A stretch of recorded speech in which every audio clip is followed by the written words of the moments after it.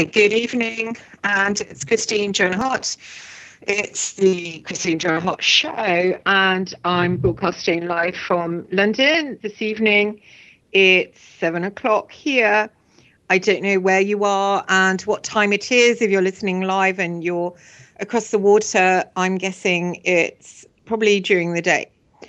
Um, it's it's been really hot here all day, and um, it's quite cloudy at the moment.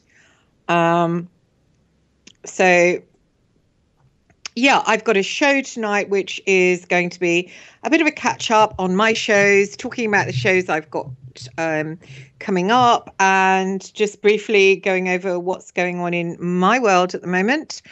And um, so that's what's going to be um, rattling on this evening. I haven't got any guest at the moment, so it's going to be a catch up and an update. So if you want to tune in, fine. If you don't, you want to go off and um, chill out, then that's fine too.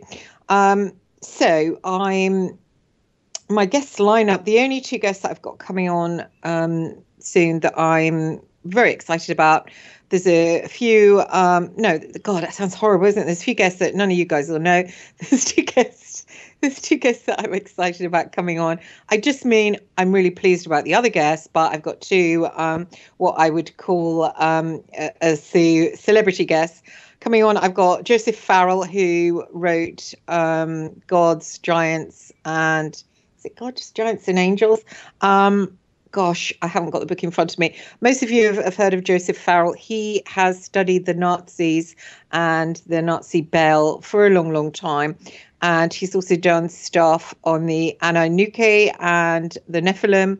And he studied that for a long, long time. So um, I want him to come on to pick his brain and to find out what's happening um, in that unseen, unseen realm. So um, he's he's pretty good with that kind of thing, and I'm I've got one of his books, and um, I'm looking through I'm looking through his books. So he is coming on in May, and I'm really excited about that. I saw him. Um, Kerry Cassidy did an interview with him, uh, but I kind of I wanted to get to the spiritual stuff, as most of you know. I'm really really interested in. Um, the invisible world, the unseen, um, fallen angels, and I, I spent most of my life hunting hunting down fallen angels. Um, so yeah, so I will probably do a different angle than um, Kerry.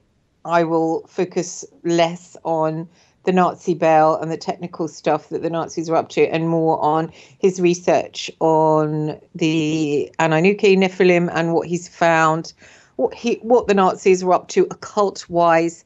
This is my thing, and um, so that's what I'll be grilling him about. Um, the other chat I've got on that I'm really excited about is um, Eric Keating. I don't know how to say his name. Actually, it might be might be a different way. It's a kind of odd name. I think it's um, it's a it's a stage name for him, um, Eric A. Keating, and I found him by accident when I was looking into Odin. I was astral journeying one night, which I don't do deliberately. I just find myself doing it. Um, well, okay, lately I've been doing it deliberately, um, but I one night I found myself going higher and higher, and I went outside. It might have been outside the iconic net, I don't know, but it certainly felt that it was um, outside the usual usual spheres, and I came face to face with a giant, and I was really, really small, and this is a really big giant in front of me, and he see I thought, well, what is this I'm looking at? And he seemed to me, I thought it felt like a god and i thought well a god should be like loving and kind and his face was screwed up with like anger. And then i turned and he was fighting fighting a um, serpent. It wasn't like a, it was like a one of these chinese dragons type things. It was like it had a head and it had a long long body that had like dragon scales on it and this creature was was coming at this giant, and the giant was fighting with a sword. And I felt masses of, of love for this uh, this this giant creature, just so much love. It just filled me up, and it was the kind of love that I've not really experienced here for apart from my son.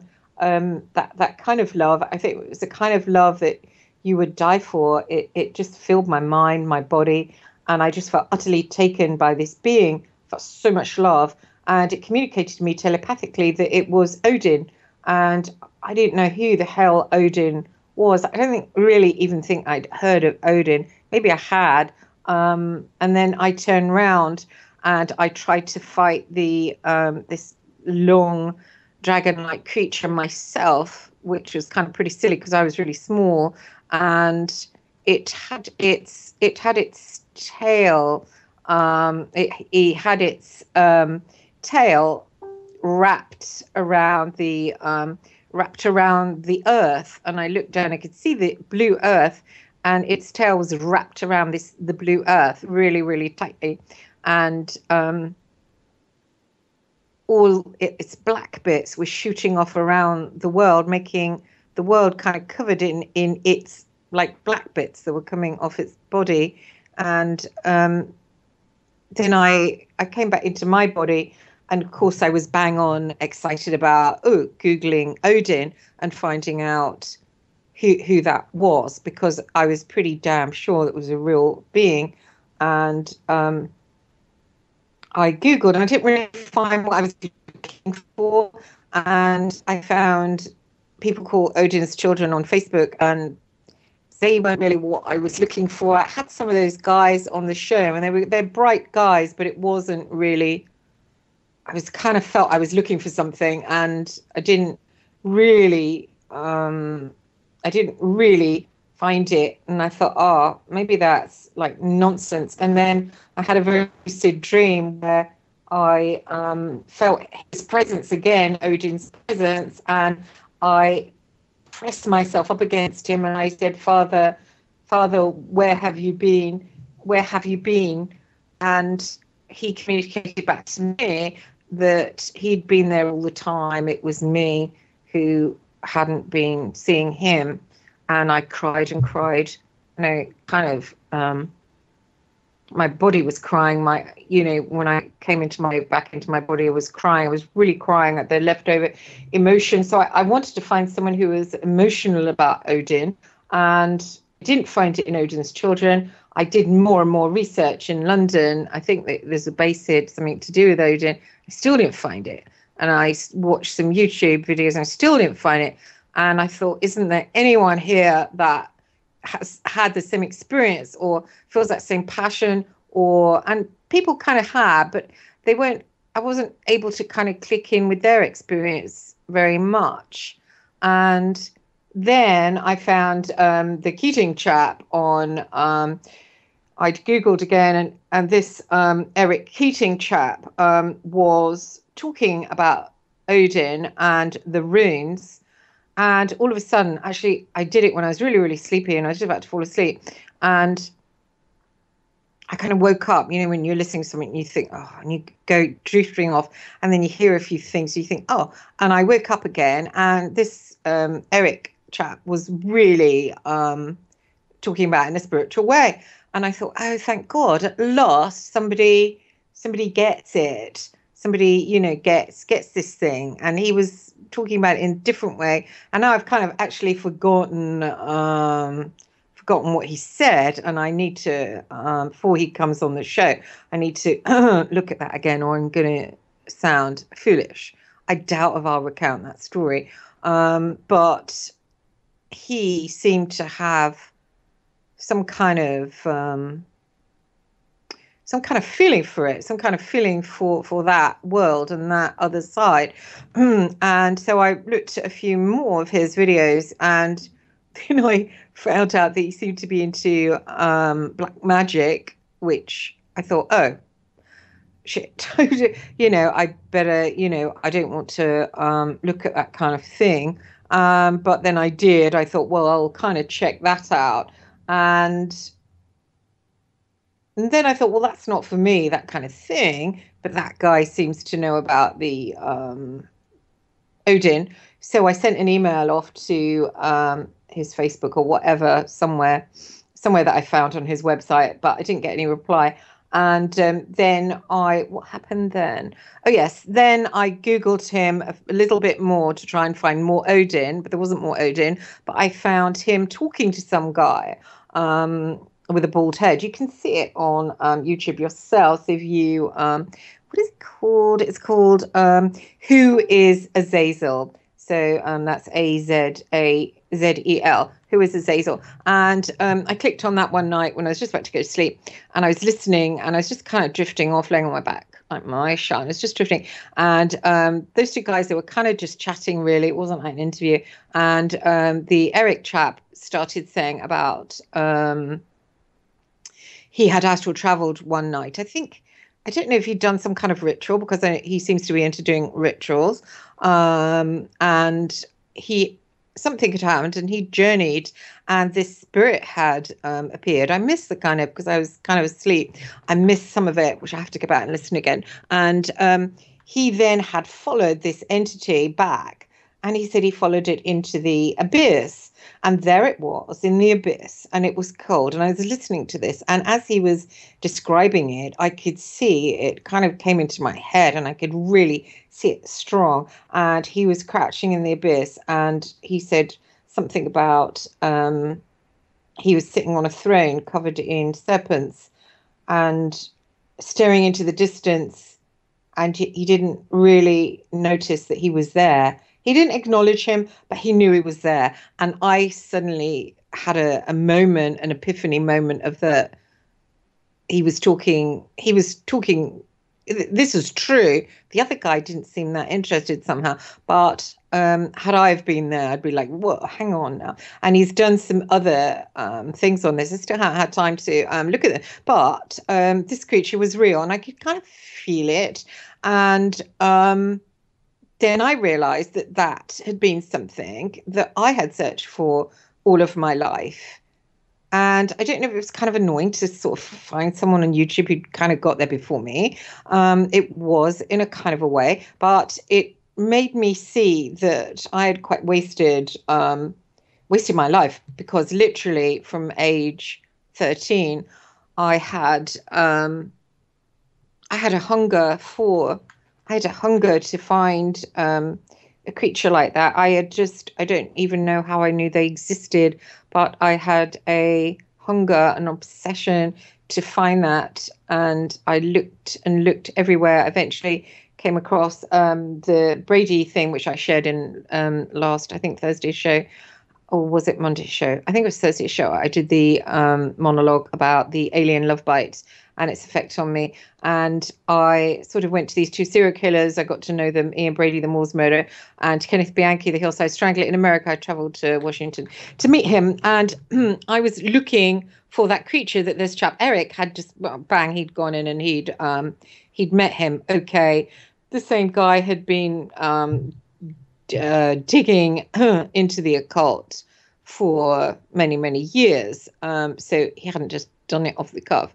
So, you know, fair play, somebody had been looking in a different direction, I'd been looking a certain direction, but um, it it really interested me that he he had he had got there. So I'd finally contacted him and got him to. Um, he didn't say much to me, but he has agreed to come on the show. So that is in mid May. So that will be fairly interesting. Um, even though there's a part of me that thinks, well, hang on, that's someone's that's what someone's found, and all I feel like saying is hand that over, and actually I want that. But then I don't know. Do you trust? Do you trust what somebody says about something that some something that they've actually located?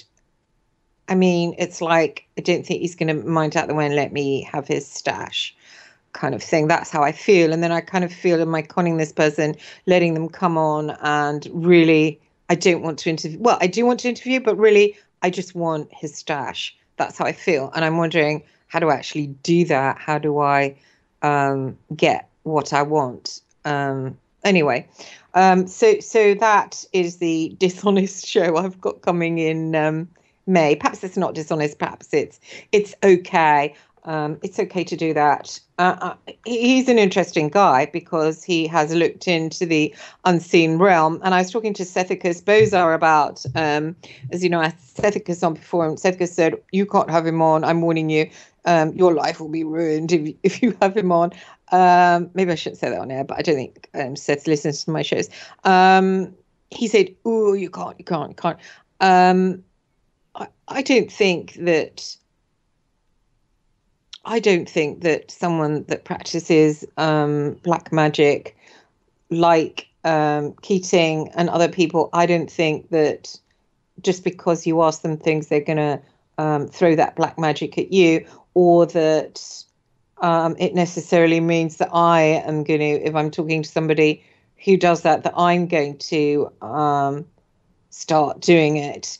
I did actually think because I'm watching um, some of this guy's videos, and I have got a problem with one of my neighbors. He is um, he started by when my when my um, my car the alarm used to go off at nights, and this is about two years ago, and it went off three o'clock in the morning. I went out, and I live in a very middle class English village, um, very middle class neighborhood. It's very uptight. The house I only rent, but their houses have gone up now. They're worth about three million, and um, they're very, you know, house proud. Um, as the Pink Floyd said, you, you house proud town mouse, that um, animal song, which is so much about this area. Um, the radiate cold shards of broken glass is what comes to mind when you think of the people around here. And it's just a horrible area. You you just get a dirty look as soon as you go out the door. Um, it's it's it's horrible. I've just been down before I came up here. I've just been down polishing my windows because you have to get them really polished. If they're not really polished and really really shiny, then people look in and give you a really mean look. I mean, it's just like it's a horrible horrible area. And actually, I've just discovered the Hampstead um, Hampstead child sex case that um, was going on. That involves again black magic, I think, or Satanism. They're probably different, black magic and Satanism. And it was interesting to to listen to that, and I'll come back to that subject in a minute. But um, it was interesting that they were talking about an area that was a cult area, and when I came here and I was with um, the Overcomers Ministry um, online on Facebook, this American woman who runs it, she said, Oh, you're in a cult area. And I said, Oh, what do you mean? I said, These people aren't really interested in the occult, that's for sure. And she, she said, No, it's a cult area. And similarly, they um, she believed, and others in that group believed that there were certain pockets and areas where people were unconsciously in cults, even though they wouldn't say they were. It's kind of a um, an astral thing that they were in cults. Kind of made me think that maybe the um, Hampstead um, sex abuse thing, the the the testimonies that the children gave of, of, their abuse, that maybe it was an astral thing. Maybe they were meeting um, their father, these teachers, th- these locals in this area, in the astral. I, it was just a thought. It might have um, it might have been that, and maybe um, you see what black magicians can do, what adepts can do. Um, they can pull you out of your body, like as as you guys probably know. I had the um, the um, experience with um, Colonel Aquino because again in that group it was just kind of changed my life that's how i met douglas dietrich and that's how i got the show um, anna hart in the overcomers ministry she had brought up Colonel Michael Aquino and said he had kicked off the programs, which actually isn't true because it was the Nazis that kicked off the programs. And actually, if you um, burrow down, it was beneath the Nazis. It is the fallen angels are at the bottom of the monarch um, programs which led me then to believe that maybe it was an encounter with um, one of the fallen angels when I was a child, um, perhaps a sexual abuse encounter that has made me chase them down all of my life, maybe to get part of myself back or what, I don't know, but there it is. And she mentioned Colonel Aquino, and I thought, okay, I'm going to track him, track him down and um, get my answers from him. And I did track him down, and we were talking Hmm. I sent him an email, and it was quite an informal email. Oh, was a formal one? The first one was a formal one, and then he basically, well, I was trying to go to sleep one night, and a giant rabbit appeared in my mind's eye. It was really, really strong, and the rabbit stayed for a while, stayed really quite long until it made me feel like nauseous. And I think I got up, went to the toilet, splashed my face, came down, tried to go to sleep again. Again, the rabbit was there, giant rabbit. I could see its really pink eyes and its nose. And um, then it shot off really, really quickly. And a part of me that I'd actually been trying to um, get memories from that I called ice kind of lifted itself out of me and went shooting off after him. And then I closed my eyes and all of me kind of came out my body and um, went shooting, felt like I was shooting along the ground. And then I sunk down as if going straight, straight, straight down. And then I hit a bottom. And as soon as I hit the bottom of this rabbit hole, um, there was Aquino that I recognized from um, pictures. But I didn't need to recognize him. He um, had a certain scent. I knew it was him. And he said to me, What do you want? And so I thought, um, This is clearly the first part of the interview with him. Clearly, he doesn't respond to emails. He comes and gets people as a rabbit. But um, again, I'd been warned by a friend of mine called Christian who said, Oh, you shouldn't have sent that email to him. Oh, you know, he's. Um, he'll screw with you, which is kind of similar to the warning Sethicus has given to me about the um, Eric Keating guy. Oh, he'll ruin your life. Um, and I, I, don't really heed that kind of stuff. So I had just gone ahead anyway. But I thought, wow, this is obviously, um, this is how this guy does his interviews. You know, when he was like, oh, what do you want? I said, oh, um, an interview with you, actually. But no, no, no, no. He said, what do you want? And so I said, oh love i i love i'd like to be in love. That's what i want love. And then he um, brought me down this little um, it was a kind of like a um, a sort of corridor. And i went down the corridor and we came to a kind of opening. And in the opening you could see like darkness and you could see all the planets. It was kind of looked like he was showing me the universe.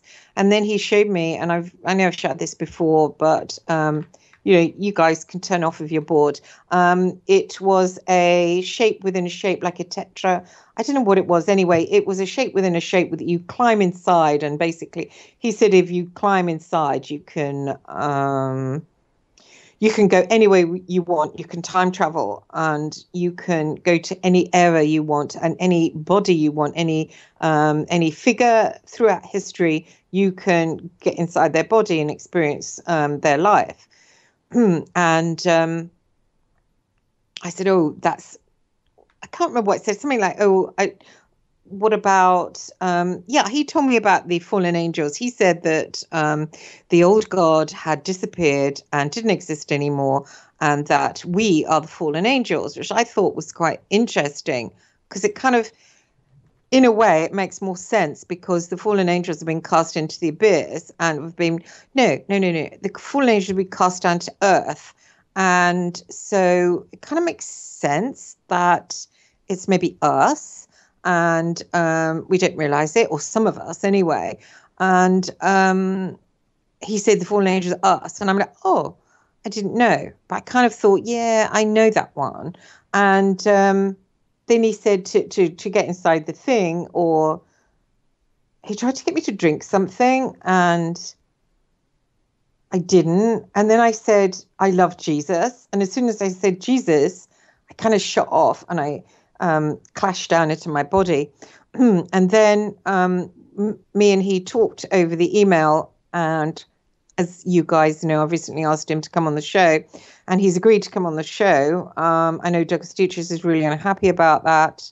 Um, and he stopped speaking to me. There you go. Um, so I asked him to come on the show, and um, he's just gone into hospital to have an operation. He's got cancer, and he said when he comes out, he'll come on the show. So that's in May also.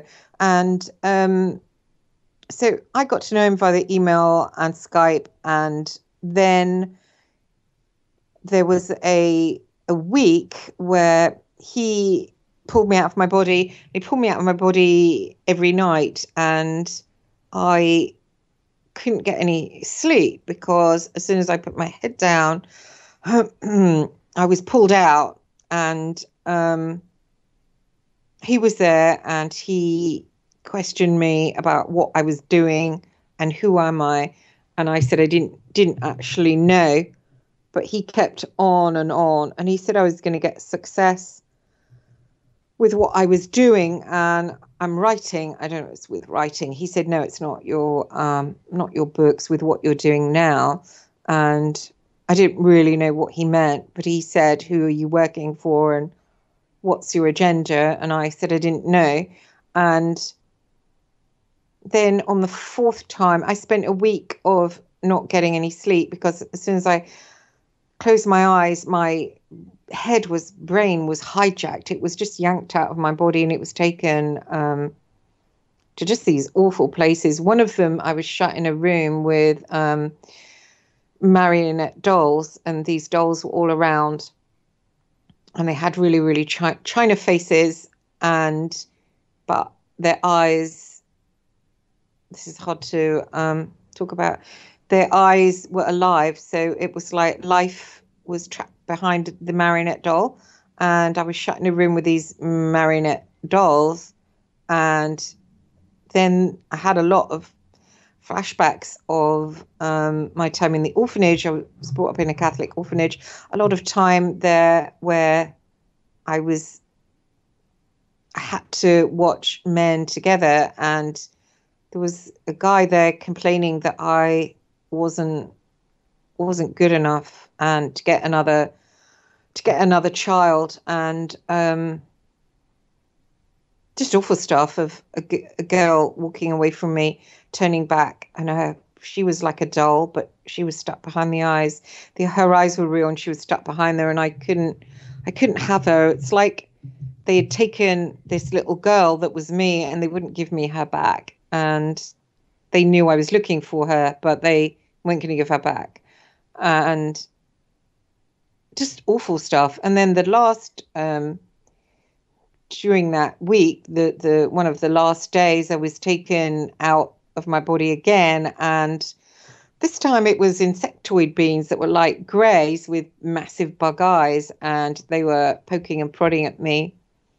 So that was pretty horrid. And then I went to Lorien Fenton. I think Douglas advised that I speak to Lorien Fenton about it. So I spoke to Lorien, and she said that it was abduction, alien abduction, and that some people have that every night. And I was crying my eyes out. I said, Do you think that happened to me? Do you think that happened to me? Do you think I get stuck like that? And she's going, No, no, no, you'll be fine.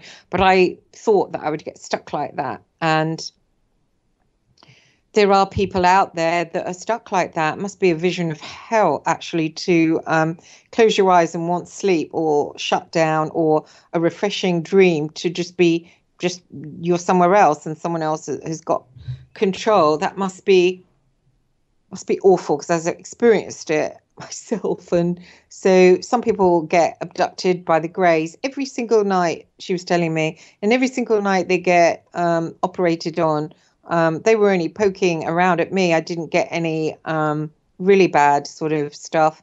Recently, when I was in Rendlesham, they went for my mouth and I was going in and out of consciousness, and they were like doing something um, in in my mouth, but my mouth was wedged open.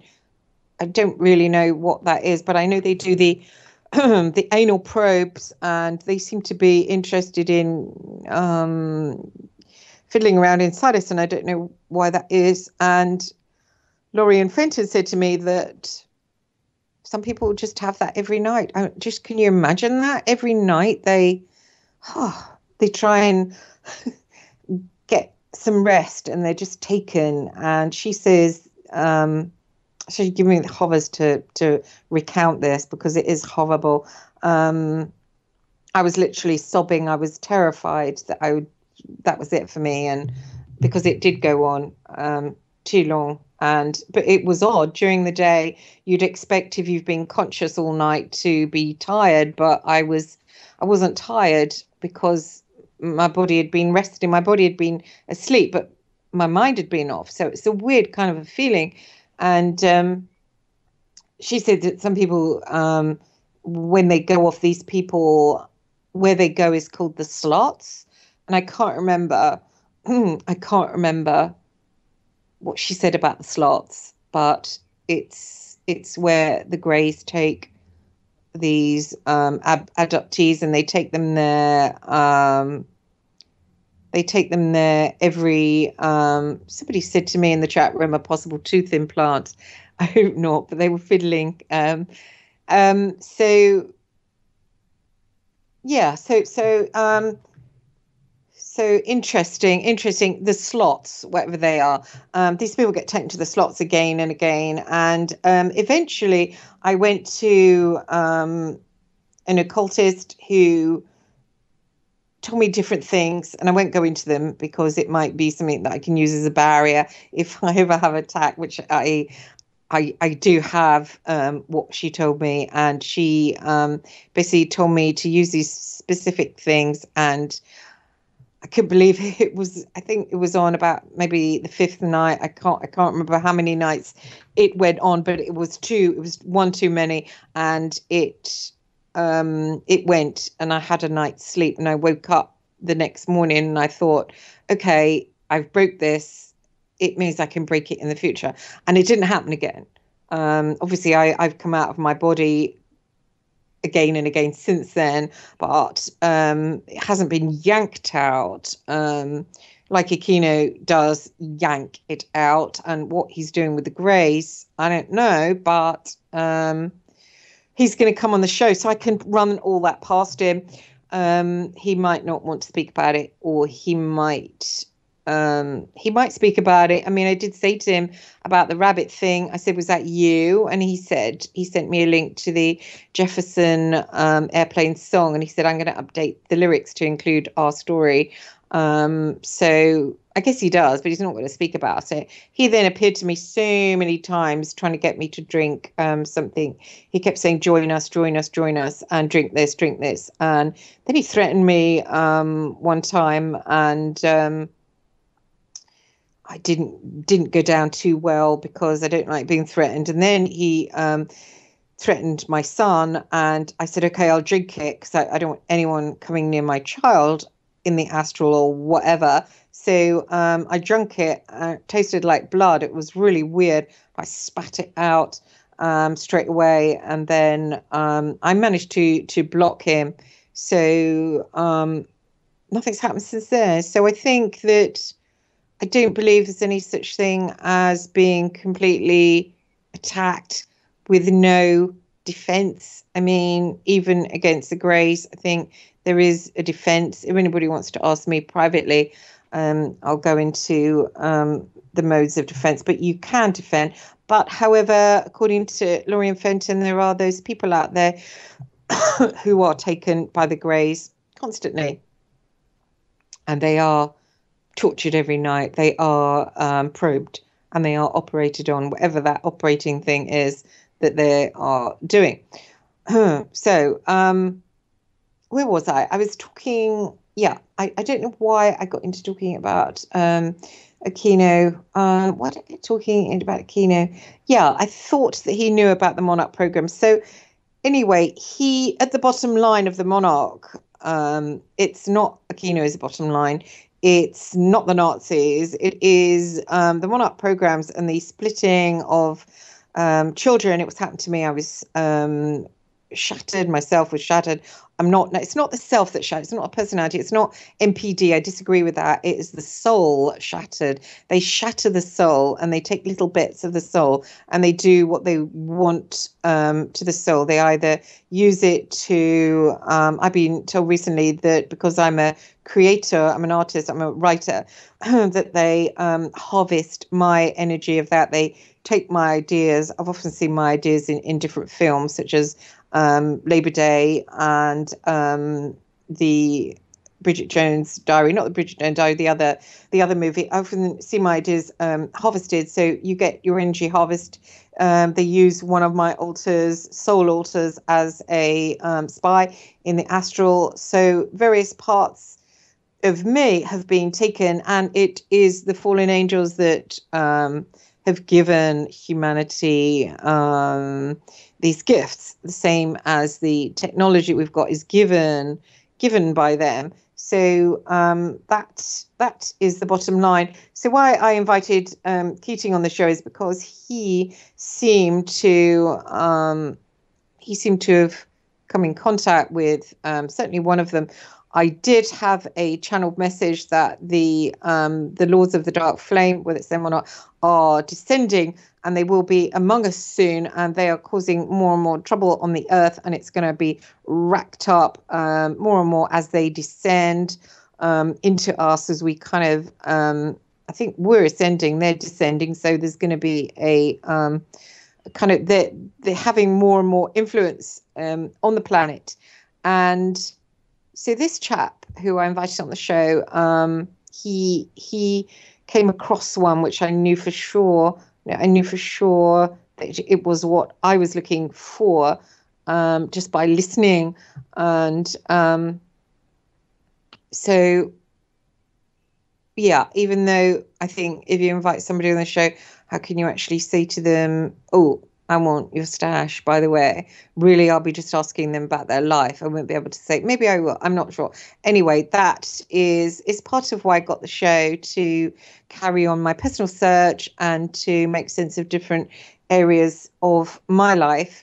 And um, interestingly, Miles Johnston kind of he posts my shows under the basis under basis 50, which is my um, basis story. And I've done these shows, and mostly he posts them up, and I get excellent feedback from people. I've made a very good friend. Um, I've made good friends um, on there through through the people, the the basis community, and um, one in particular who I was talking about, who I dedicated the last show to with Douglas Dietrich. That um,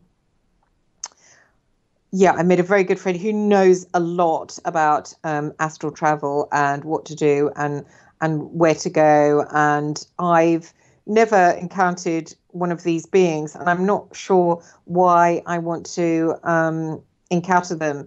But I've never I've never tried um, I've never tried black magic myself, and I don't think I want to use um, the dark side to get close to one of them. But then I suppose I don't know. Is is that is that the only way you can talk to the fallen ones through black magic? Do you have to go down that line? Do you have to say that? Um, I don't know. I'm not sure that you do because listening to Keating on his um, lectures, he he asks for things and he asks he certainly asked this um, entity, the one I'm interested in, um, that he called Azazel. He um, certainly asked him for things, and but I don't know. Do they really? Are they really interested in um, helping us? Um, clearly, cults, uh, satanic cults. Um, sometimes they commit murders and stuff to offer these beings blood sacrifices or doing bad things, such as someone like Kenneth Bianchi, who carried out his murders for the same um, Hindley and Brady for the same thing. It was like, I'll give this to you, and you will give me supernatural power, and you will make my life better. Um, but do they really want to do that to humans? Um, I certainly don't want it to encounter one to ask for money or supernatural power. Um, I can get money, I believe, if I pull my socks up and find work. And I don't want supernatural power. I'm okay as it is. I've got enough. Um, so I don't know. Do do they do they want to give us help or or or what? I'm not sure. Someone like Aquino who um, does this kind of praying thing or communion with them you know, I'm not sure. I'm not sure if they actually enjoy him. Do they actually like Aquino? Do they think we really like him? We want to help him. We love you. Um, as Keating was saying, he came across him um, one of them in the abyss, and he was sitting there all alone in the darkness. Now, I don't think that's a very happy place to be. So, why can't we help them? Why can't we try and transmute them into some kind of light? Might they not need um, our help? And if you read the book of Enoch, God is pretty hard on them. I mean, they didn't do that much. And then he casts them out into the abyss without really giving them much of a chance. And I know I, have had Mike Heiser on the show and I've read his book, The Unseen Realm. He um, talks about how they betray God quite a few times. But if you read on the times that they are betraying God, it's not that bad. Not really. It's something that can be forgiven. And then when you think of God, who's supposed to be all loving and all forgiving, why did he cast them into the abyss where they'll be um, bound for um, eternity? It's pretty. It's pretty harsh, really. Unless, of course, the God that we're reading about in the Old Testament and in Enoch isn't um, isn't isn't my God, isn't um, isn't the proper God. And then one has to think, well, is Odin the God? Is it my God? Perhaps we're all in different little boxes, and perhaps a certain person might enjoy a really spiteful God who's nasty. Perhaps there are people that think, yeah, that's cool. But I personally don't think that's really cool. I think it's kind of really um, spiteful. And um, I think if I'd have been Keating coming across this character in the abyss with these snakes, and I wouldn't have said to him, "Oh, do you think you can give me a Porsche?" Or whatever he said to him. I don't think he probably said a Porsche. I haven't got that far in um, watching. Um, haven't really listened into what he did say to him. I believe it's in other um, videos. But surely this entity, if it's stuck like that, needs um, needs needs something that we've got. Perhaps it needs something that we've got and perhaps perhaps we should look at that perhaps we should look at doing some kind of trade that doesn't involve um, murdering innocent people or drinking blood or um, anything petty and um, disgusting and that we shouldn't be doing because really if you think about it these cults um, that Hampstead was talked about, whether it's true or not, I don't know. This area seems cultish to me. It does seem that there's a coven somewhere um, because it's so cold and it's so materialistic. Um, I've got a neighbor opposite, and he basically, because um, my alarm was going off, I went out. There I am, a woman, woman, and I went out. I was in my nightdress, and um, three o'clock in the morning, and he was pacing around my car and trying to look threatening. And I'm like, "Excuse me, just because I'm a single mother doesn't mean I don't know really, really hard guys. Because actually, I worked for the Sun. I worked for the Sun. I worked for the Sun back then. I worked for the Sun, and I'm a crime journalist, so I know like gangsters and I know terrorists. And you know, you're kind of standing there looking threatening at me like, oh, she's a woman. She doesn't know any guys. She's got no protection. I've really, really, really know some badass guys. Anyway, he just looked at me like a deer caught in headlights. And then he ran inside and his wife had come out at that point. She goes, oh, you've really gone too far. And I'm like, no, I haven't really gone too far, you know? And then my car alarm, um, I managed to um, yank it out. And ever since then, this guy's been completely obsessed with me. And whenever I park near his car, he looks at his car, which is a piece of shit. It must be worth all of a hundred pound. And then he rubs at little spaces on it. And okay, he lives in a really moneyed house, but he's he makes an idol of his house and he makes an idol of his piece of shit car. And he's rubbing at it.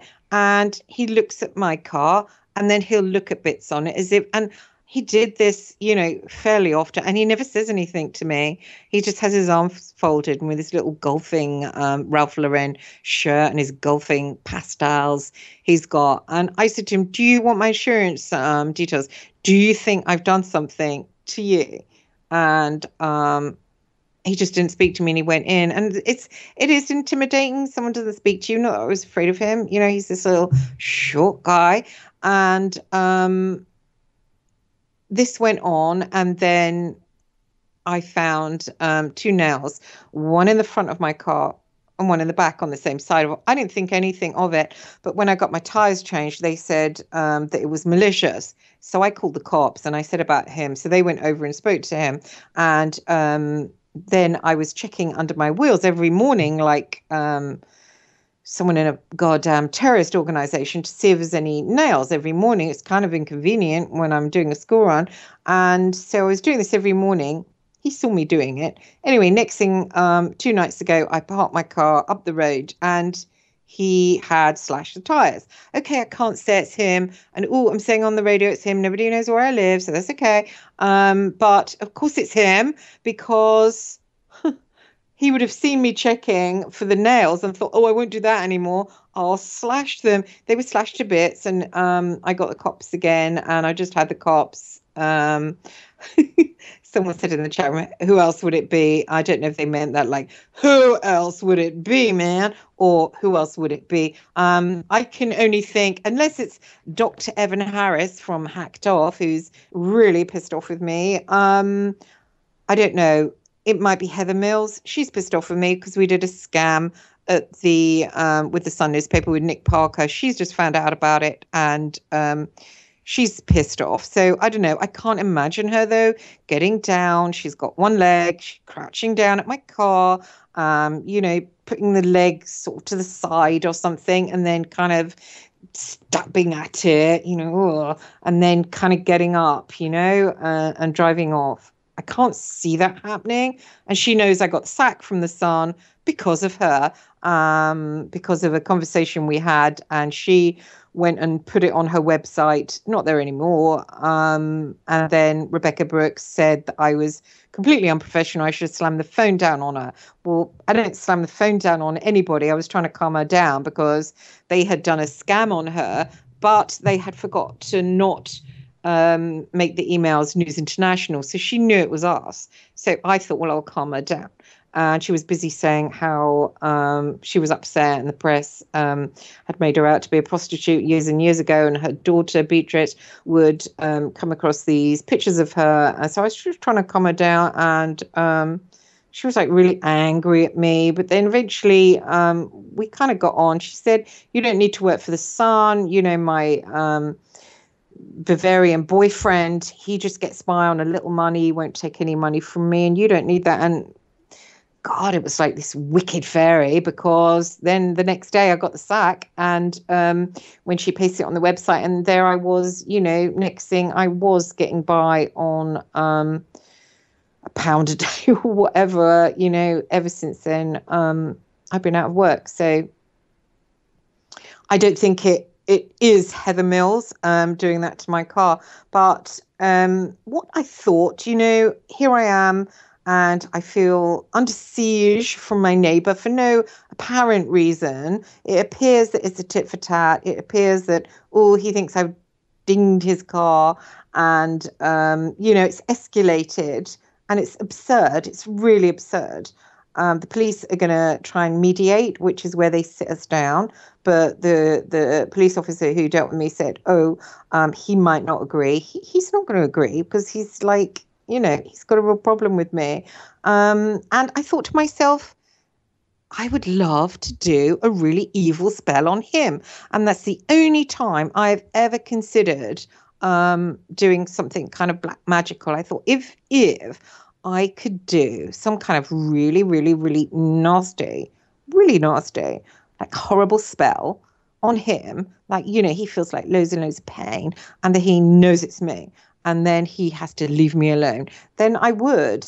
And then I thought to myself, well, where do you draw the line? You know, where do you, um, what kind of person am I? You know, that, um, what kind of person am I that I would, if I had the ability, would I go down that line? And I thought, would I? And I thought, yeah, I, I actually would go down that line. And um, yeah, and then I thought to myself, well, perhaps that's why we haven't got any supernatural power because if we did have supernatural power we would kill each other just straight away you know i know i would get stuck in i've got a list of people that i would just you know i just wouldn't give a damn. I wouldn't give a damn if they died really really painfully you know? So that's probably why we haven't got supernatural powers because we can't really um we can't really be trusted. We can't really be trusted. And I would like to meet a fallen angel, but maybe I'm not to be trusted because what would I do if I met a fallen angel? I'd say, hey, there's a neighbor across the road. You can um, can just wipe him out, could you? You know, so maybe that's why we're in the position we are, where we can't commune with um, we can't commune with the angels. We're stuck, like um, farm animals because we're we're corrupt and angry and just bad really bad to the bone we're we're good if we're not tested if we're like having a nice time and we're not we're not um tested at all um and then somebody said in the chat room, why is a serpents harmless as doves? Um, we're quite angry if really this is like the Wild West, would be like murdering each other. I know myself personally, I liked it when I lived in Belfast and I was able, because I was working for the News of the World, I was able to hang out with the IRA, I was able to hang out with the UDA, who, I mean, the UDA um, were literally hanging out their windows of where they live on these estates with machine guns, which was um, interesting and exciting. I think we're going to break, so um, join me again um, after the break. We've got a three minute break.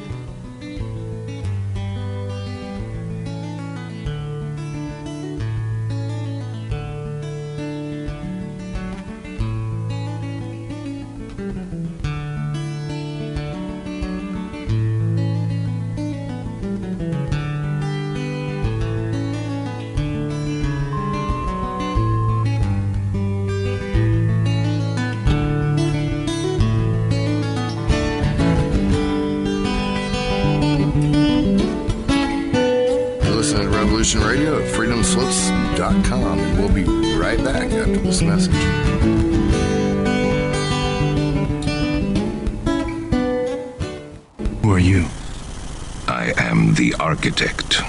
I created the Matrix. I've been waiting for you. Why am I here? You are the eventuality of an anomaly which, despite my sincerest efforts, I have been unable to eliminate from what is otherwise a harmony of mathematical precision, which has led you inexorably here. You haven't answered my question. The Matrix is older than you know. As you are undoubtedly gathering, the anomaly is systemic, creating fluctuations in even the most simplistic equation. Choice. The problem is choice. Right here at Revolution Radio, freedomslips.com. Be here Wednesday evening at 8 p.m. Eastern Time for Private Eye Matrix Revealed with Monique Lasan.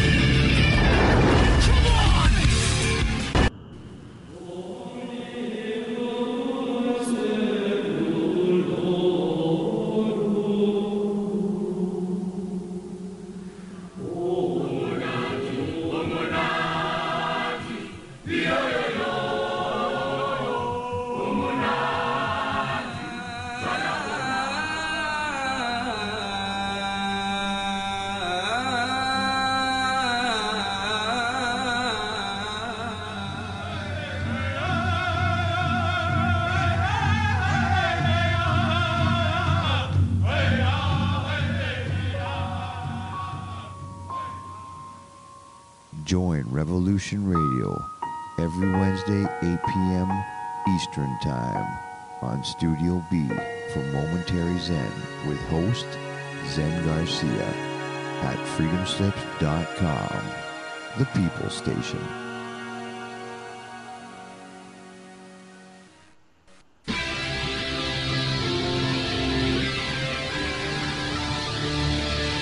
He wants a challenge. Let's give him one. The voice that whispers in your ears are the screams that you fear. The mind you cannot defy is the heart that rules mankind. The people who made you are the gods that will save you. I am Steve Travesty. I am the voice, the ghost in the machine. Ghost in the Machine Tuesdays, 8 p.m., Studio A. Right here, Revolution Radio, freedomslips.com, where information never sleeps. The opinions expressed on this radio station, its programs, and its website by the hosts, guests, and call in listeners or chatters are solely the opinions of the original source who expressed them. They do not necessarily represent the opinions of Revolution Radio and FreedomSlips.com, its staff, or affiliates. You're listening to Revolution Radio, FreedomSlips.com, 100% listener supported radio, and now we return you to your host. Hi, it's Christine Joanna Hart. We're back, back on air. Here we are, actually back on air. Things have gone very, very quiet. I'll just check with my producer. Uh, yeah, this is Patrick English, and Ah, I just okay. Um, do a little station. what's going on? I wanted to pump up the station a bit, just just to get this in. Um, I think I've lost. Um, I've lost a connection. No, no, I'm not on air anymore. You're fine. Definitely not on air. I can't hear. Huh? You're on mute. Hang on. I'll be right with you.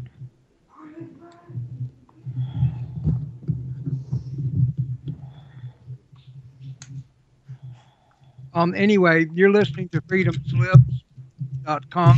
Oh, Fine. sorry, Patrick. Sorry, I was on mute and I That's couldn't unmute. Sorry, you carry on. Okay. And, and Revolution Radio is the biggest uh, user supported station on the net.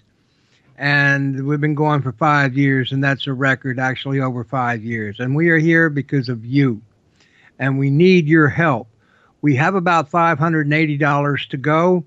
It is the 21st day of the month. We've got nine days left. I know we can do it. And I know times are hard, but even five or ten dollars could really help out a whole lot. If everyone gave that, we'd be three months ahead. And if you are as rich to give a hundred dollars or fifty dollars, you get as good as you give because we will give you the jumbo seed pack should you ask for it. Or for fifty dollars, you get the bullet drive, or you get a one ounce silver bar. It's a little ingot. It's nine nine nine pure. And silver is more valuable than gold right now. So it's a good idea to get it. And it's it's as pure as you can get. The archives are four ninety nine a month. You can get a subscription to them too. We have the uh, Zazzle store. And one more thing with with the bullet drive and the other stuff, which I say is uh, USA only due to constraints with borders and stuff like that. Um, is that you need to give us your mailing address so we can get it to you. Otherwise, they'll send it all to me. And just kidding. Anyway, uh, with that, and the, again, please help us. With that, I am going to turn it over to Christine again. Hi, everybody. Um, Christine Joanna Hart, Christine Joanna Hart Show, and it's London, coming in live from London. And Patrick, if you want to have any ring-ins, if there's anybody, you said there was David Lloyd um, He's there. If chat. what? He's in the chat, and then I put the numbers. Uh, you can call in. It's 347 688 2902, or you can call my Skype, which is 337 335 0085. Those are both written in chat, and I put them up every time it rolls off chat. Or you can Skype Freedom Screen, like a theater screen. So, yes, go ahead and give us a holler. Go ahead, Christine. Yeah, if, if anybody, thanks very much, Patrick. Um, thanks, Patrick. There, Patrick English is my producer, and yeah. So if anybody wants to ring in, if they've got any questions um, about what I was talking about, feel free to ring in. And the Skype is Freedom Screen. Is that all one word? Yes, it is, all lowercase. Okay, so that just means. So what do they do? They just ring it and basically get us. Yeah. Patrick. Oh, Patrick. I went on mute. You see, I do that to stay out of your way. Anyway. so, so, so, so, so they just have to ring. Yeah. Freedom. Sc- oh, okay. Kushti. Okay, so anybody wants to um, join in with me or ch- ask me questions or generally whatever, do give us a ring wherever you are in America or England. It's um, eight o'clock in England. and it's getting dark out there. It's it's kind of freezing. It's been quite warm all day, but um, it's getting freezing. I just um, oh. I just um, checked on my neighbour across the road. I wrote I wrote I shouldn't go on about my neighbour. I I wrote him a little note. I see my ties are slashed. but um, then he actually said to the police when I was talking to the police this afternoon, he said, um, I'm hassling him because I sent him a note. Oh, right, I'm hassling him. Mm-hmm. He is goddamn stalking me. No, he's not stalking me. He's stalking my car. He is just like completely obsessed with my car. And my car is just like, I mean, it's it's an estate car, but I, I wouldn't call it much, you know. I mean, I appreciate really beautiful cars like Lamborghinis, and I used to drive when I was working for the News of the World. I, I had a Lotus, and it was a soft top, and it was beautiful. Um, but now I can't care less what he does to the car, but it's costing me um, so much money. It's so expensive. And I'm a single mother and I'm not working. And it's kind of absolutely disgusting for someone um, who owns his own house, who's clearly he's retired and um, he's he's doing that. You know, I think he's retired anyway. He's he he looks about 50 he's got dyed black hair um, anyway, I mustn't. God, I can just imagine um, him taking this show to the cops and announcing that I'm hassling him on air. So he's anonymous. Nobody knows where I live. Nobody knows what neighbors I've got. So um, nobody knows. So I'm certainly not hassling him, but I'm sure he would try to um, make that into some kind of issue. I'm sure. I hope God. Imagine if he was stalking me online and kind of listening right now gosh, how creepy.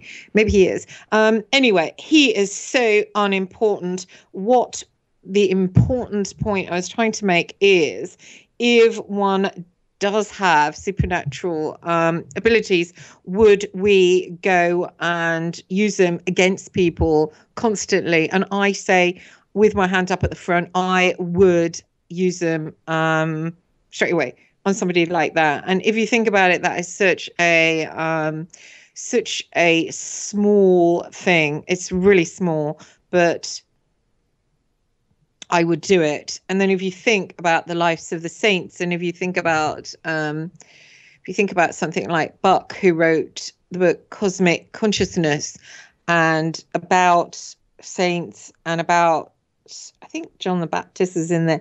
Definitely Jesus um, is in there.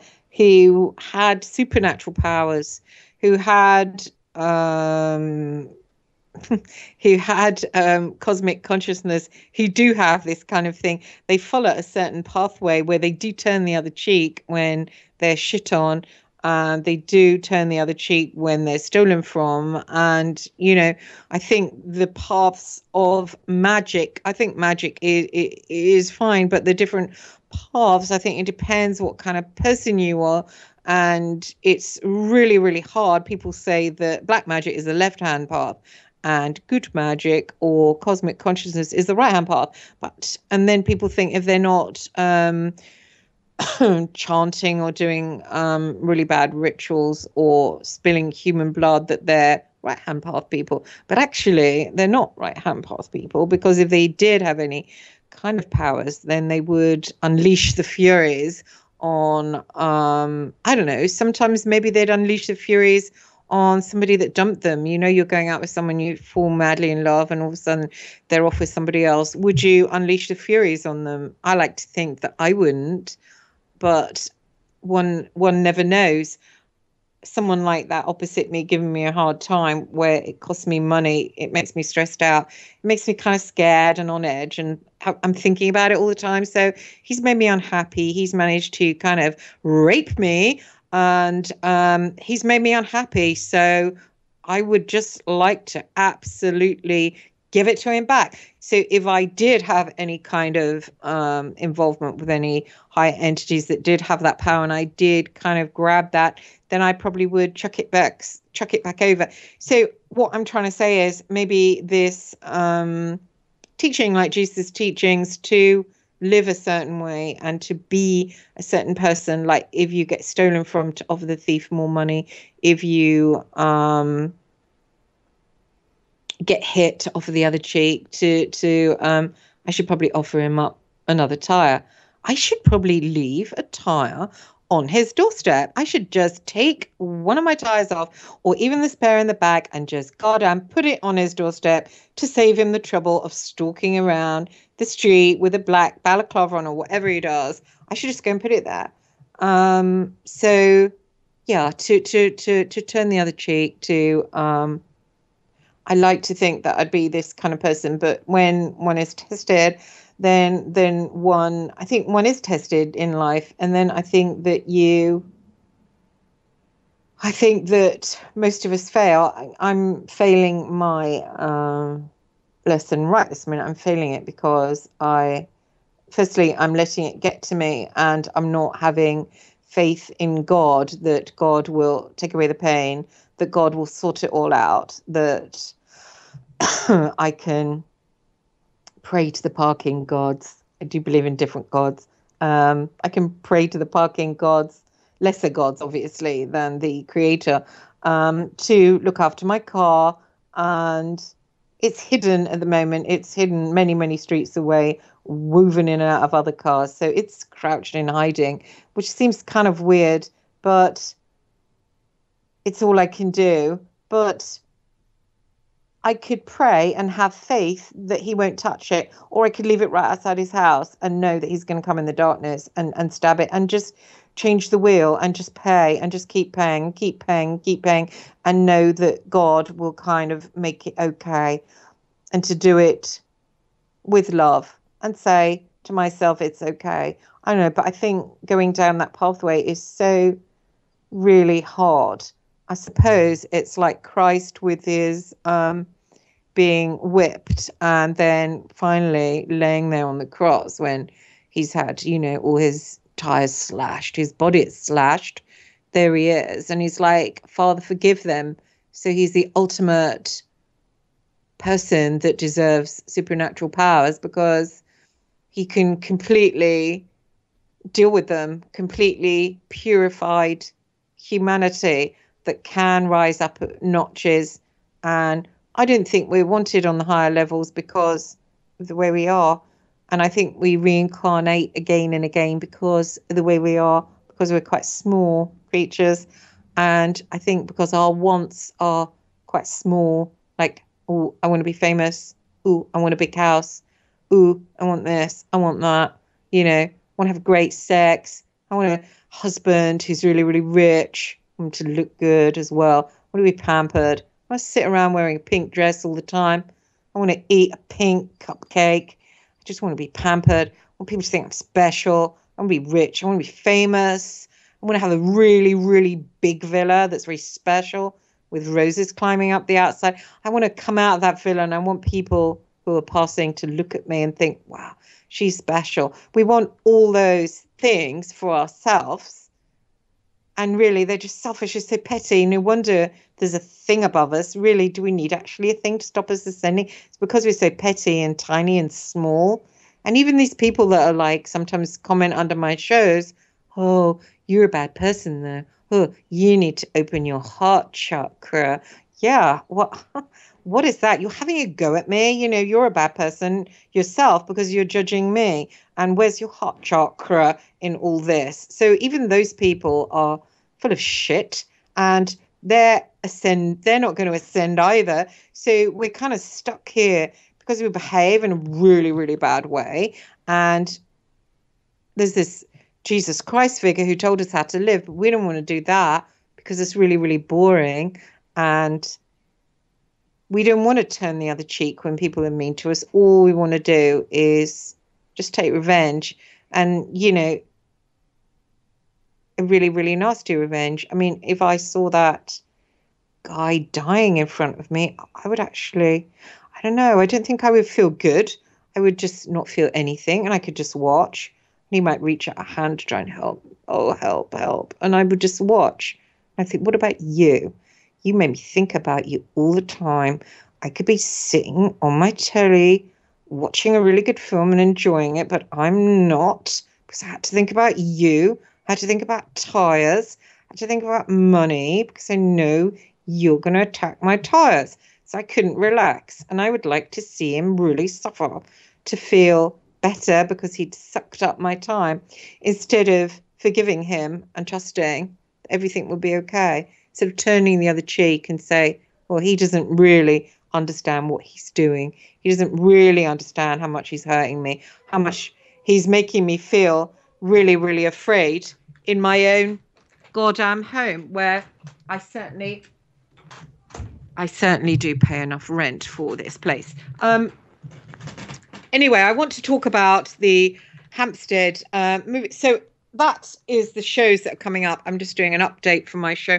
That's the shows coming up. We've got Joseph Farrell, we've got E.A. Koetting, and check them both out. They're really interesting people, and I'm still checking. I'm still checking them out. So they're coming in May.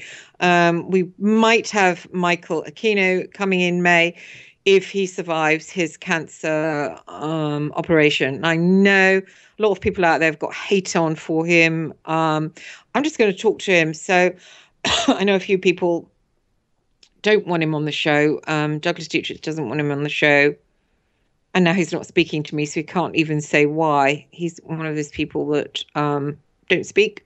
So he's vanished, um, which is a shame because we were very, very good friends. We would talk most mornings on Skype and have a laugh. And it's very sad that he's he's gone.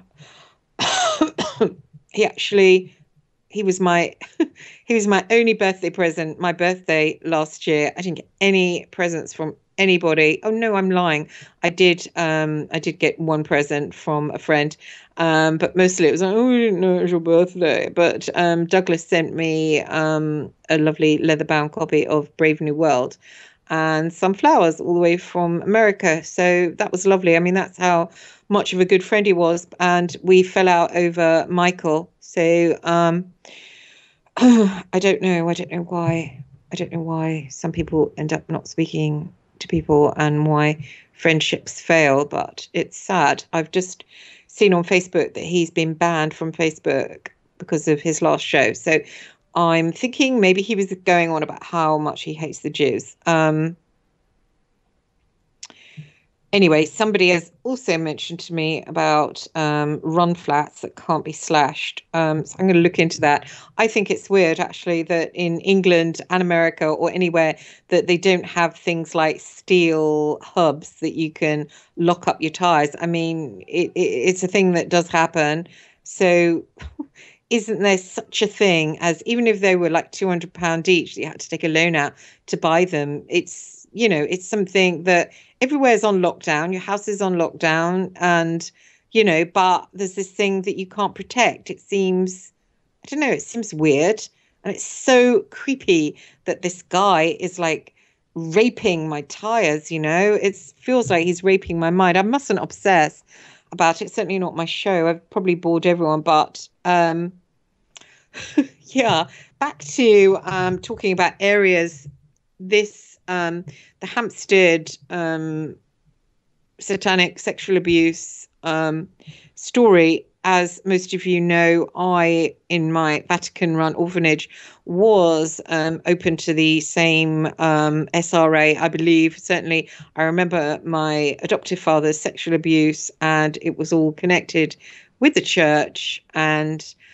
I was put into the convent. My aunt was a nun and she wanted me to be um, a nun. So I was put in the comment taught how to pray using meditation. They pray with meditation. They're pretty much into the occult themselves, the Catholic Church, but it's all it's all on lockdown, that kind of thing. It's all kept for um, insiders. So um, eventually, they decided that I wasn't. Um, they didn't want me to be a nun which is based on the fact that I liked George Harrison, which is weird, and wore mascara. So um, I was chucked out of there. That was the convent in Boston.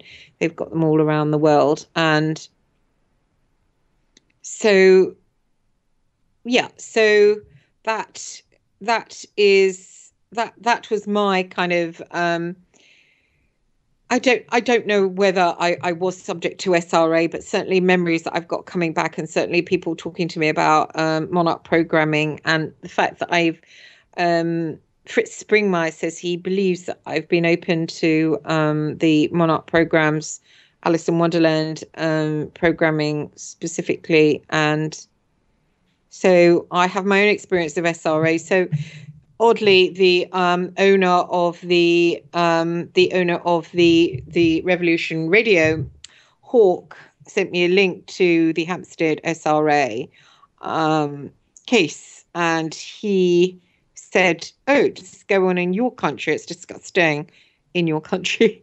And I'm like, "Well, England, yeah, England's not a great great place. It's it's um, in northern areas, it's nicer. It's the people are warmer, but there's a lot of interest in just social activities and a lot of mindlessness. And then in London, where it's a bit probably a little bit higher minded, it's very um, materialistic, incredibly materialistic, and it's horrible, really. And in the other poorer areas, it's kind of this racial tension, um, racial tension in, in those areas.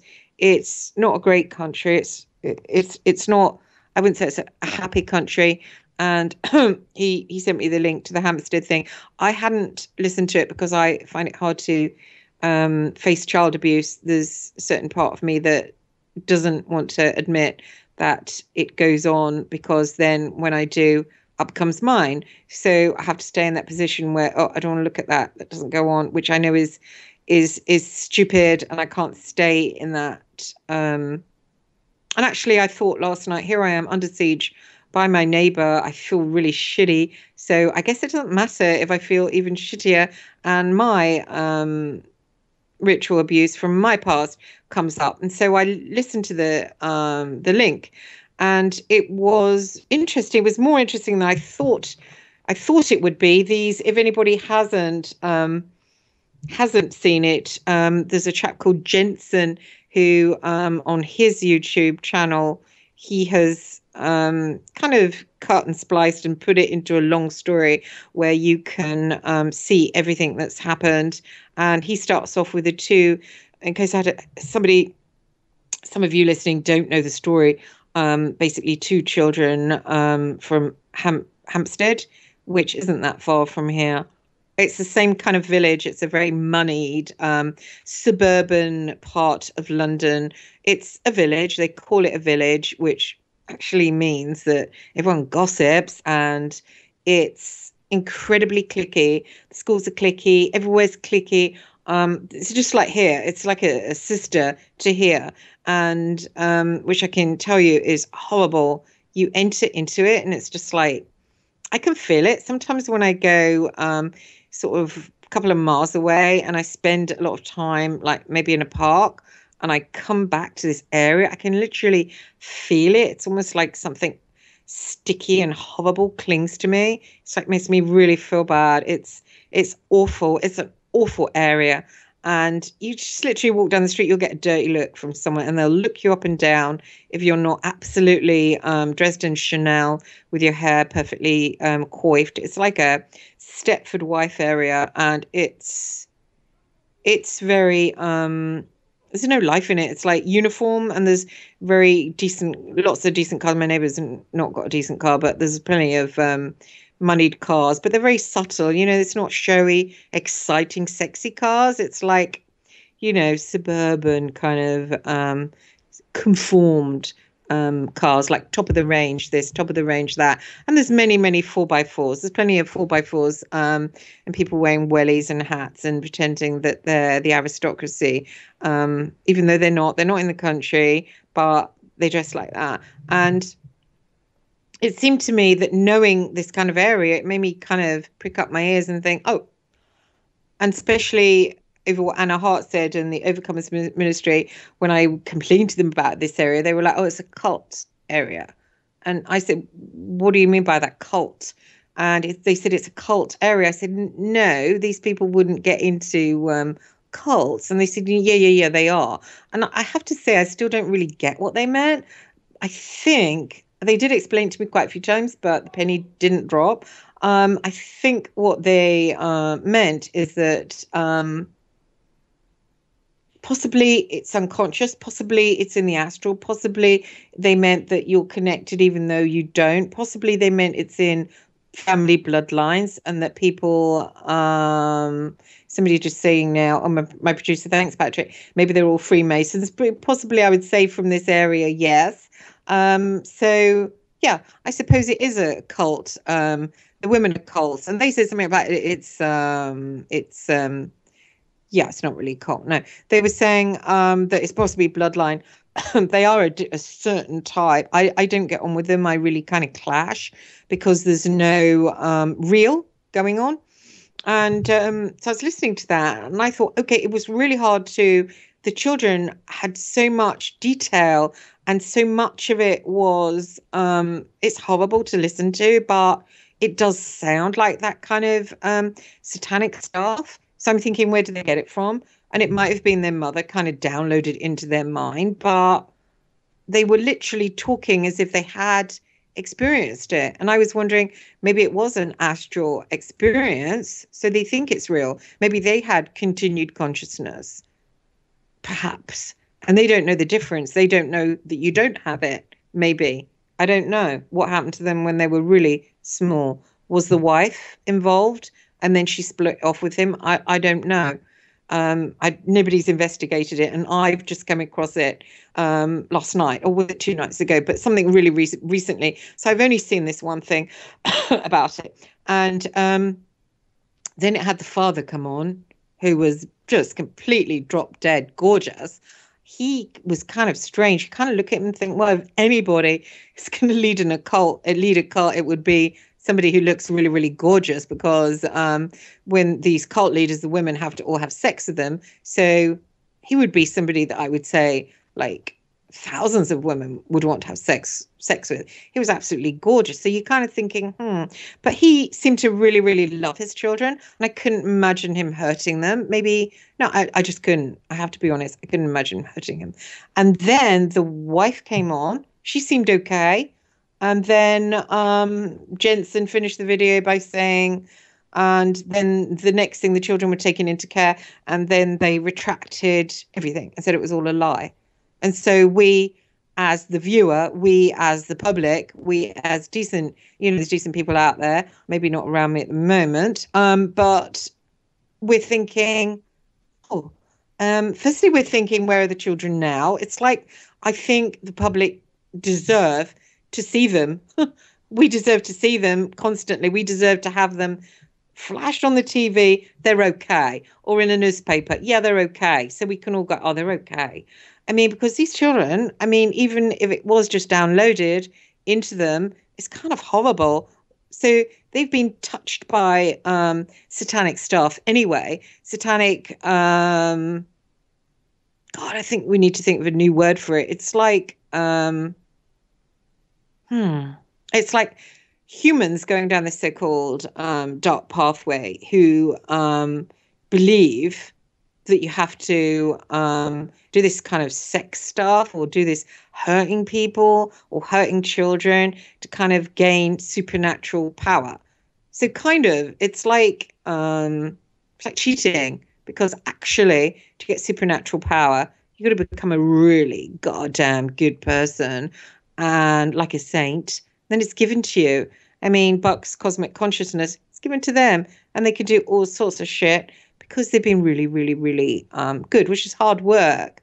But the other way, it's kind of disgusting. Who wants to have an orgy? Who wants to kill somebody? Who wants to be really, really filthy? Because you know what? The fallen angels are going, God, you're a dirty lot of bastards, aren't you? And they're just kind of laughing at us. I mean, they don't need they don't need that shit. They don't um they don't need to do it. They're just thinking, hmm, look at them, you know? So um going back to what I was saying, this um I don't know if they've had that put inside them, but it is really ugly, ugly, ugly stuff.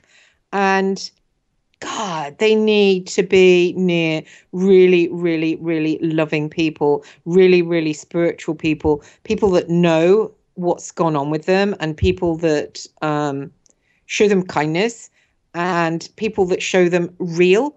What if people have suffered lots and lots of pain? They go into the um, post-traumatic stress disorder state, which I've experienced myself, and if they're surrounded by um, people that are unreal, even if the even if they're being kind, if they're unreal, keeps them locked in this um, state. What they need is gentle, really, really, really loving kindness. Um, when I went to get myself cured of post traumatic stress disorder, I went to um, the Primal Institute in Los Angeles, and my um, therapist there was a guy called Dr. Barry Bernfeld, and he was soft and so, honestly, he was. I thought he was Jesus himself. He was like an angel, and he pulled me out of this um, my sort of bubble because you just kind of end up in a bubble because you're so hurt that you can't come out into the world because it's like, oh no, thanks and um, it needs someone to bring you out of it, to bring your feelings out of the ice. And he did that to me, and he was so soft so kind. And that's what these children need. They really, really need that. And I'm not convinced that care workers, because I've been um, in care myself um, when I was a kid, that um, when my adoption didn't work out, my adoptive family put me back into the orphanage. It was like, oh, there you go, back there. Um, it's riddled with pedophiles. It's riddled with people that are really, really screwed up. Um, it's riddled with really bad people. I'm not convinced that the people in the care system where those children are are able to give those children what they need to heal from their post-traumatic stress disorder. I'm really, in fact, I could think I could say that 100% it's not going to happen. So I'm just like horrified where those children are, what's happening to them, how are they going to um, come back to us because they're being pushed into something which is it's like something that human beings create that it's a um, full state almost to that state that i was abducted to. It's like they're in the slots. They're in the slots and none of us doing anything about it. And they're just there and they're just little kids. No one can help them. They're there. No one's gonna help them. It's just us. So i think if we all get together and we all pray for them, if we can just pray for them as much as we can and demand.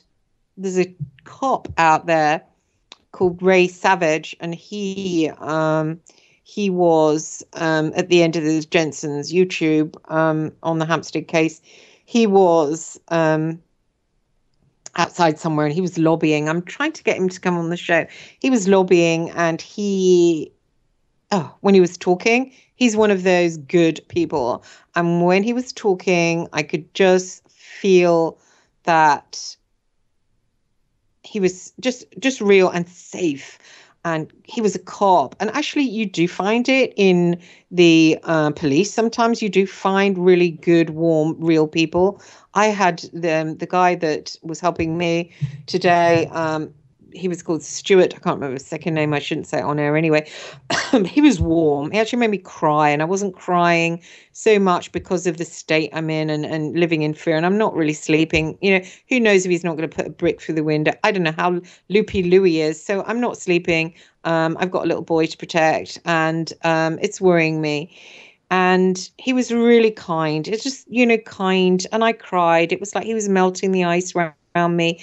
And it's like when something bad happens, like when something bad happens to those two little children, they're only eight and nine, that ice forms around you. And that's the um, post traumatic, post stress traumatic disorder state where you're almost like under a river and um, there's ice on top of that and you can't get out to the world to communicate with the world. So you're kind of stuck in there. And it's like, it's almost scary to kind of crack the ice and get back up and join the world because after all, you suffered, then you went down into this kind of cloven pine kind of state. And it's hard to get out. And what needs to be done, those children will be in that um, state where they're cut off from everything. And it what they need is for the ice to melt and for them to come back to us. And it would just be fantastic if those little angels came back to us. And, you know, it needs someone to go in there, whether it's him or not, but someone like him to go in there and just to be with them and to make sure they're safe. And we as a public and America, England, every country that knows about it needs to know that they're safe. Thanks very much. Um, we've got Madeleine McCann. We don't know that she's safe we have to have that trauma of thinking about her. Where is she? So it's like, you know, we as a public get traumatized too by having to listen to it. Then we have to think, where's the child? And then we have to think, where's those children? And then we're traumatized too. And then we get a little bit icier because you think, well, I can't get to those children. I can't be, um, I can't help them. I could feel bad about it, but life is making me feel bad. I need to watch TV now and I need to chill out. So you get even more colder inside and cold parts of your head. And so it kind of um, kind of does that to us. Who's the enemy wanting to do that to us? Is it the fallen angels doing it to us? I'm starting to think that actually it's it's us. And you know, we are the really, really bad bad ones. And we've got to stop being bad and start being good. And we've got to stop being materialistic and start thinking about other people, start being warmer, start being nicer, start turning the other cheek when we're shit on. There's many, many bad people in the world, and we're always going to meet bad people, always going to be offended by them. We've got to stop stop being offended and start start being one of the good guys, even though it might seem boring. It doesn't mean you can't talk to a fallen angel. Doesn't mean you can't go to them and have a chat with them. Doesn't mean you can't actually travel if you feel like it. It doesn't mean that. It just means you're going to be good. You're not going to be bad. And I really do hope that something can be done about the two kids in in in that case and I know it goes on in England everywhere that kind of thing and it's awful. It does go on. There's no point in us saying, "Oh, they were talking shit." It hasn't gone on. Whether it's um, astral or physical, it's still gone on. I personally think because they were talking about teachers and things like that that it's probably it's probably in the astral it probably is that's that's what's the um, key to it that um, they're not seeing is probably that, I would say. And a lot of this stuff does go on there. And that makes the astral a kind of filthy, dirty place. And it shouldn't be a filthy, dirty place, but it is. I can't get there consciously when I want. Sometimes I find myself there. Um, I can't come I can't come out my body at will. I can't travel at will. Sometimes I kind of try to and then I find myself there, but sometimes mostly I try to and I can't. Um, I did travel with Dan Bolin. I know Dan Bolin as Sergeant Dan Bolin has shared about it um, on various shows and having these uh, missions to um, alter CERN. And I you know, while I respect what he does, I'm not sure that it can um, do everything because I, I know that MI6, MI5 will have all of that covered. You know, if you watch Inception, you can see that they do have defenses. They do, they are aware of all this. They do have remote viewers. They have the lot. They have more than we have. Uh, well, they don't actually have more than we have, but they have people that are defending so I'm not sure that missions to attack CERN are going to work, but I'm not going to disrespect what he does. Um, I had somebody contact me. Um, he sometimes listens to the shows. Um, he contacted me anonymously and he called himself um, Alex, Alexander. And yeah, there was no picture, but he friended me and I got the um, feeling from his energy that he was okay to accept, even though there was no picture or profile. And then he started talking to me. He didn't say much, but he said um, that he wanted me to come on a mission with him at a certain hour and did I want to time travel with him? And I thought, okay, you've got good energy, but that's nuts. So I said, yeah, yeah, yeah, that's okay. I'll come with you. And he said, you've got to give me permission. So I said, okay, there's permission. You have permission. And he set a time. I think it was like, um, it was either 1204 or 304, something like that. And I was just drifting off. And then I felt myself like drinking something. And it was almost like cough mixture I had, um, cough mixture I had growing up quite a lot, pink cough mixture.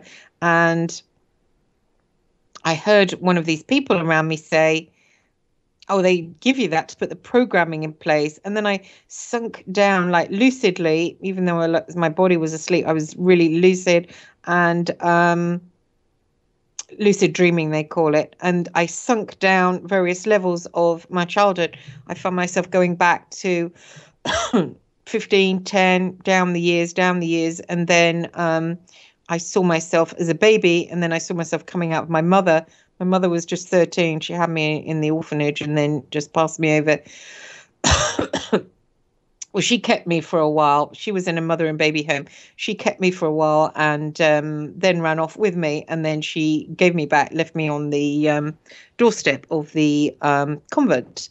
And then I was um, basically put in care and um, I saw her, and I always thought that she didn't have much feeling for me, but she was crying, and I was watching her. And then these people, um, which Alexander was a part of, um, he confirmed later, um, said to me, "Now we want to see what happened to you." And basically, they took me off, and they took me to a certain place where they um, checked my blood type, and then they put me into a cage and then I started seeing the um, puppies cut up, the um, sexual abuse, and just the whole fucking gamut of um, similar things to what those children have. Um, not all, but um, that kind of crap. And it was part of the Vatican, part of the church, and um,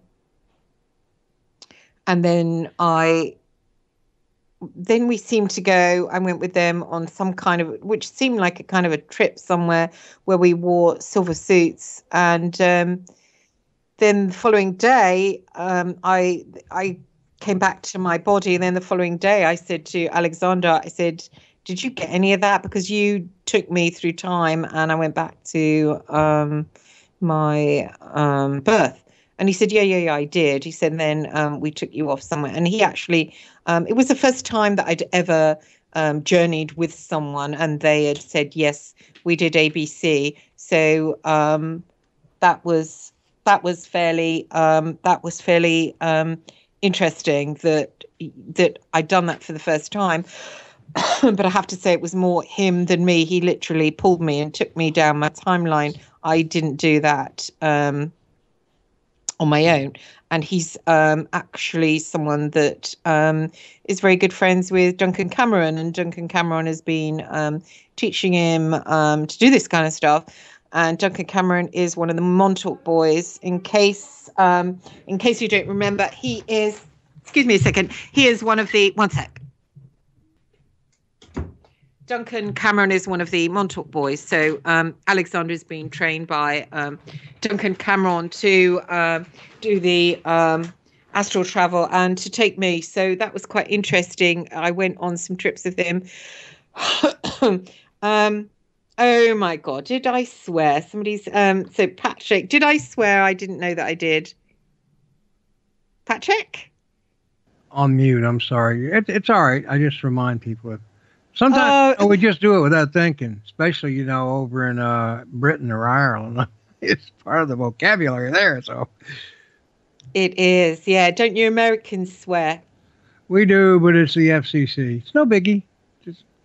Oh, I'm sorry. I didn't even know I I swore. I didn't even know. Don't even. But never mind. Okay. Anyway, back to I think we're just kind of coming to the um, last um, ten minutes or so of the show. So um, thanks, Patrick, for producing. It's really kind of you. And um, you can reach me on Facebook, Christine John Hart. I'm on Facebook, and I've got a YouTube channel. it's under the same name, um, but I'm having trouble loading my show um, onto the um, YouTube. Perhaps someone will come forward and offer to download them. Mostly, uh, Miles Johnston is putting them on his channel. That's Miles Johnston. And um, mine are all under Basis 50. So you can find um, most of my shows there, probably including this one, even though it's just going to be um, an update show. And because I I monologued last time and I didn't want to do it again because I don't think um, it's fair on the listener. I like to have guests on. Um, but I was just doing an update explaining what guests I've got to come. So hopefully it wasn't too boring and hopefully you've learned something.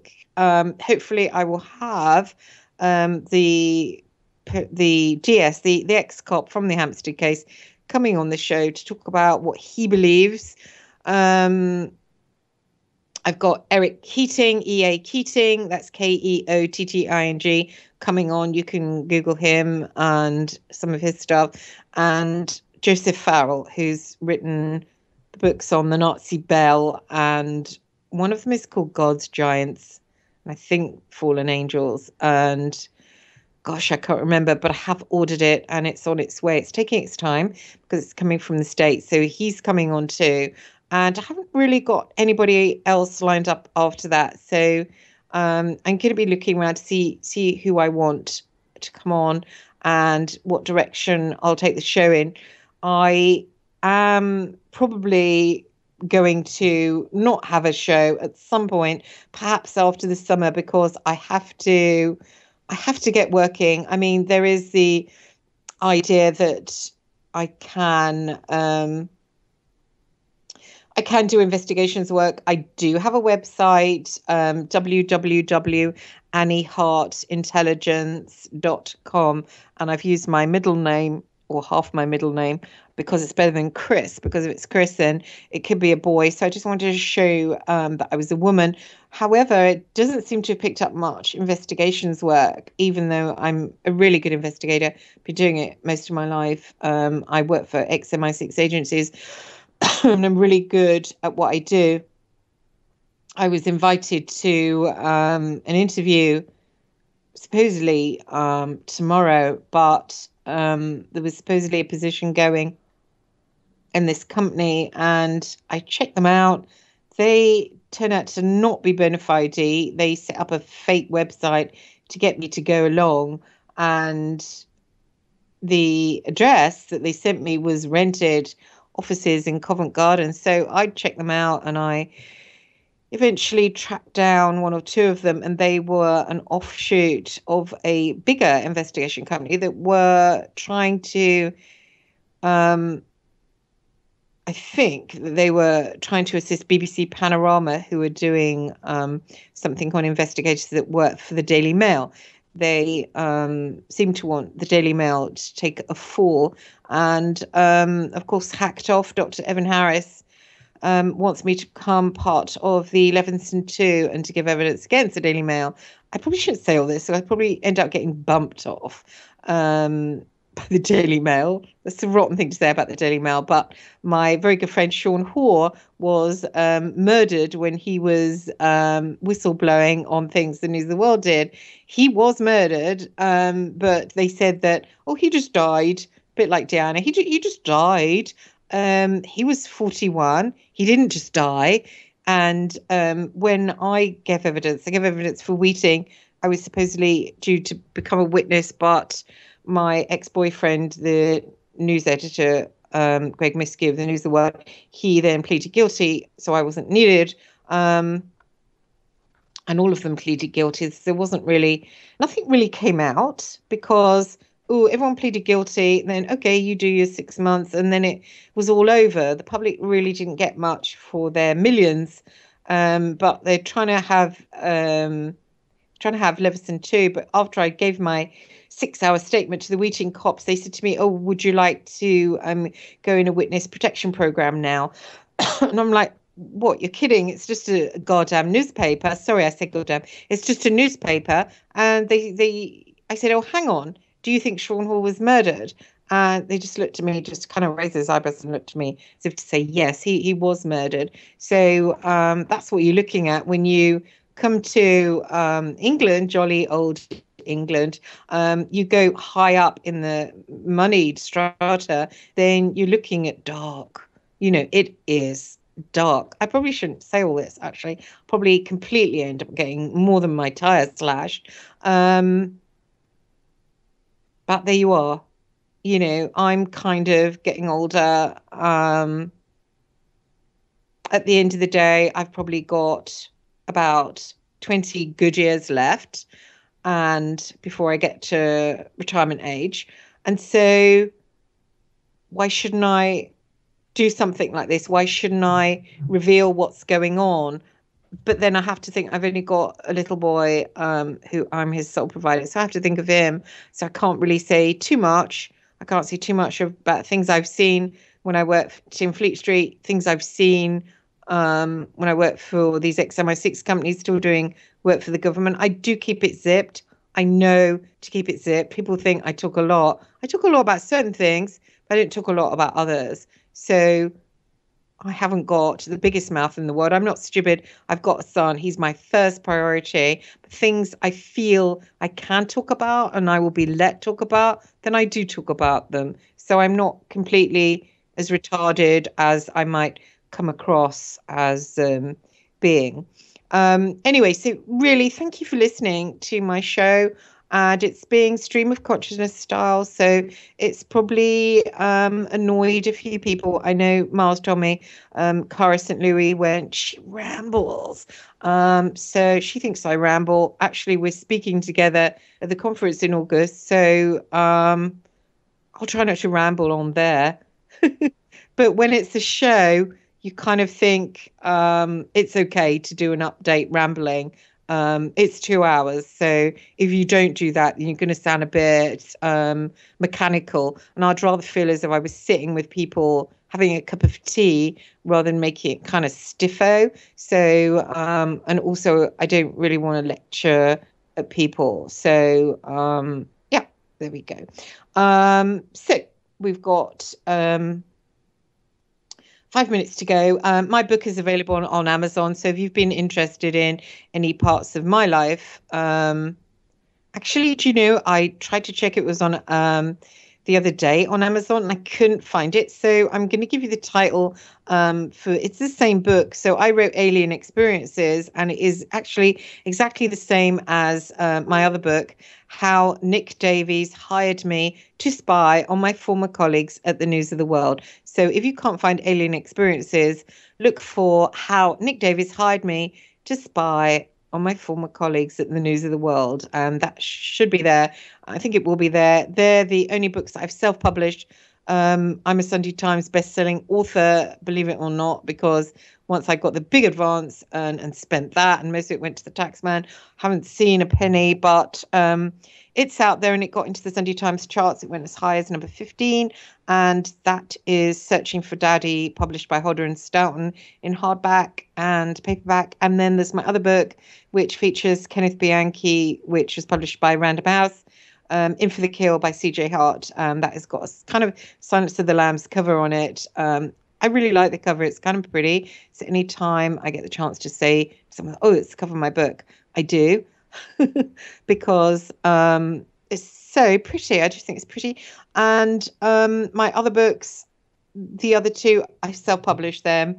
And what I'm going to do is to update it and then get a publisher for it. But I've needed to collate um, the information, but you can buy it on Amazon really cheaply now um, before I start editing and cutting it, and before I give it to um, a publisher to publish if if they'll accept it it's going to be about um, my experience with the greys my experience um, with the programs and everything i've been talking to you about on the show but in details so if you're interested i think you can read the first 80 pages for free. So go there check it out if you want it then um, please do go ahead and buy it.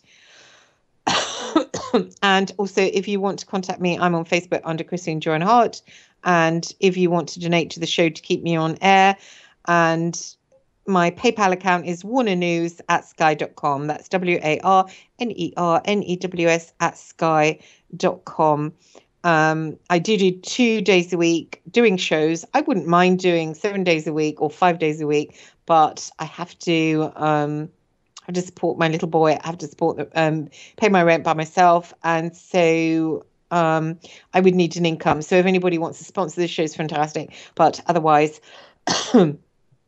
I'm going to try and bring some work in, um, investigations work. If anybody needs investigations work doing, somebody found, or any kind of investigations, due diligence, I'm your person. Um, my website, www.anniehartintelligence.com. Um, I've really enjoyed um, sharing things tonight, and anyone that's listening, God bless. Anyone in the chat room, thanks ever so much. And Patrick English has been my producer tonight. And thank you, Patrick. Oh, you're very welcome, dear. Happy to do it anytime. Oh, good. What's the weather like there? Where are you in America? Uh, Whereabouts? In uh, Bayou country. I'm in Cajun country down in South Louisiana. So it's Wow, really? I didn't know that. You've got crocodiles and stuff. we sure do. Yeah. Wow. And you've Oh. got, hang on, what else do I know about that? You've got really gorgeous fried chicken. Yeah, that's a southern thing, but we can do it. We got all kind of Cajun food. I had crawfish the other night. Good Lord. Oh yeah. And what kind of things do you drink? Oh, me? Water? no, not not a lot. Uh, coffee. Uh, there there's all kind of beer and whiskey and wine, but I, I don't indulge. Oh, don't you? Why not? I just don't like it. I don't like alcohol. I don't like it what it does. I'd rather be sober. My mind works better. I feel better. Excellent. I don't. Um, I don't tend to drink much actually. The odd um, Budweiser is good enough. But I always thought you guys drunk um, Jim Beam and all that. Oh, um, that's a Kentucky whiskey. That that's more. oh, I've got that wrong. Yeah, huh? No, Isn't Kentucky no near you? No, no. Kentucky's a good Right. twelve-hour drive away. From about two or three states away. I'm on the Gulf of Mexico, right next to Texas. Oh, excellent. I, I, I'm going to come over and stay with you. Okay. That sounds gorgeous.